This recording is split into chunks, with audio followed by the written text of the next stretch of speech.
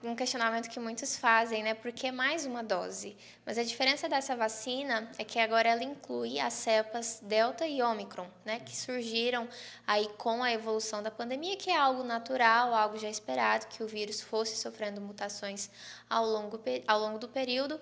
E agora essa nova vacina inclui essas novas variantes. E é importante dizer também que é a última, né, desse esquema aí que a gente deu início, é a última. A gente não vai ter dose 2, dose 3 de vacina bivalente. Agora, o que pode acontecer a partir do ano que vem é que seja feito um reforço anual, assim como já é feito com a vacina da influenza. E aqui no município de Alto Garças, quantas doses nós recebemos? O município recebeu para iniciar a campanha 426 doses, para contemplar aí principalmente a população idosa e imunocomprometida, mas nós já temos doses disponíveis é, para estar tá solicitando a regional. Esta aplicação dessas vacinas, ela está acontecendo na rotina normal dos, das unidades de saúde? Como que está funcionando?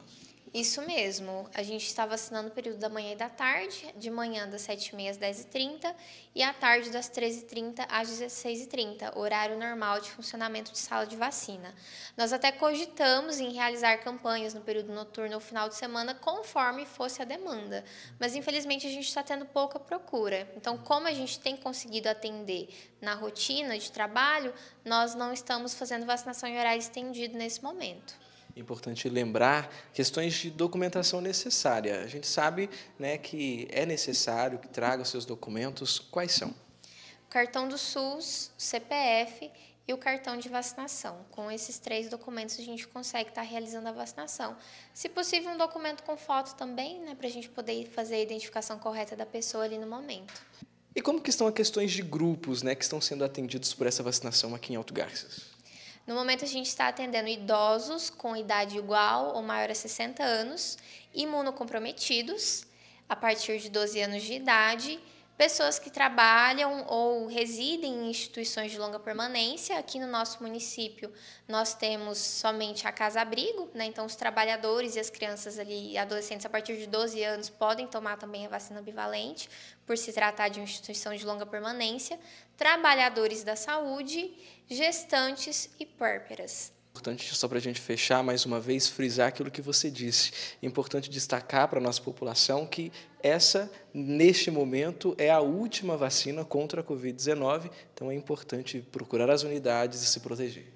Com certeza. Né? Nós tivemos aí alguns reforços ao longo é, desses dois anos aí de vacinação e esses reforços ocorreram né, devido também às mutações, o fato de não ser gerada uma imunidade prolongada, principalmente em idosos, pessoas imunocomprometidas que estão aí sempre é, nos grupos prioritários.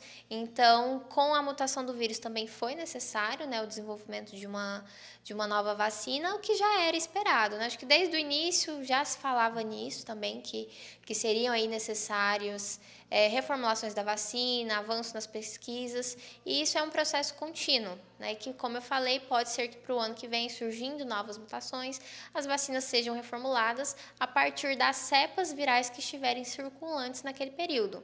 É o que acontece com a vacina contra a influenza, porque a gente tem várias cepas do vírus influenza. Então, são vários tipos de vírus, né? A gente poderia colocar dessa forma. E aí, todos os anos, a vacina é reformulada com aquelas cepas que estão maior, em maior circulação e, consequentemente, com maior risco de adoecer as pessoas. Então, pode ser que nos próximos anos isso também aconteça com a Covid-19, como está acontecendo agora com a vacina bivalente, que contempla aí essas duas cepas que, que estiveram maior circulação nos últimos meses.